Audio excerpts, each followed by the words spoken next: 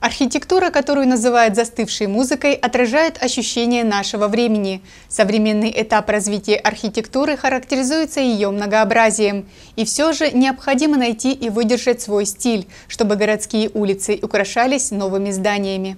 Многие считают, что зодчество 21 века – это стекло, бетон, минимализм и хай-тек. И как, пользуясь таким инструментарием, создавать что-то яркое и свежее? Это непросто. И вместе с тем, в настоящее время человек хочет жить не только в красивом, но и в удобном здании. Еще очень важно обязательное гармоничное сочетание здания с окружающим ландшафтом. Кроме того, оно должно быть энергосберегающим и экологичным. В нашем городе немало свежих примеров удачных архитектурных решений, где удалось воплотить в жизнь все поставленные задачи. Это магазины, торговые центры, офисные помещения, кафе и даже мойки автомобилей, которые стараются строить и удобными, и красивыми. Главная задача, которая сегодня стоит перед застройщиком – сделать объект не только функциональным, современным, но и вписать его в окружающую городскую среду, чтобы он стал частью единого архитектурного решения данной территории.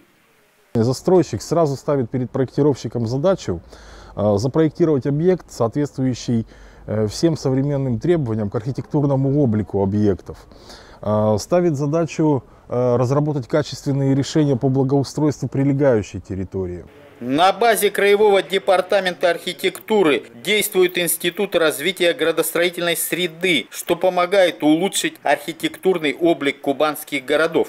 Вот этот институт, э, в принципе, следит за современными веяниями э, к требованиям э, по архитектурному облику. И все эти требования оформляют в качестве методических рекомендаций, тем самым оказывая такую посильную Э, помощь муниципальным образованиям.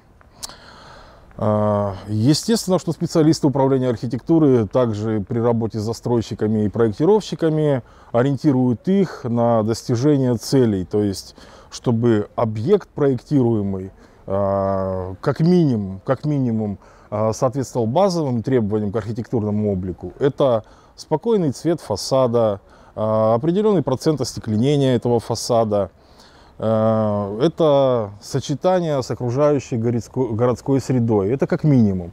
А как максимум, конечно, чтобы этот объект становился украшением этой городской среды. В сентябре вступило в силу постановление правительства Российской Федерации об утверждении требований к архитектурно-градостроительному облику объекта капитального строительства и правил их согласования. Разработка и согласование архитектурно-градостроительного облика объекта будет предшествовать получению разрешения на его строительство. Пока в городе определены 6 улиц, где будет проводиться эта работа. Эти улицы внесены только в Славянском городском поселении, но дальше больше, как говорится. Э, и в Славянском городском поселении это 6 улиц. Это Ковтюха, Красная, э, Ленина, Юных коммунаров, Школьная и Адельская. Ну и надеемся, конечно, что, не то что надеемся, а уверены, что э, это согласование ну, сделает город краше. Реализация постановления упорядочивает важную работу и дает механизмы для того, чтобы новостройки лучше вписывались в уже существующий стиль и украшали город. А это в наших общих интересах. Андрей Вишневский, Георгий Калинин, Станислав Бурбыка. Программа «События».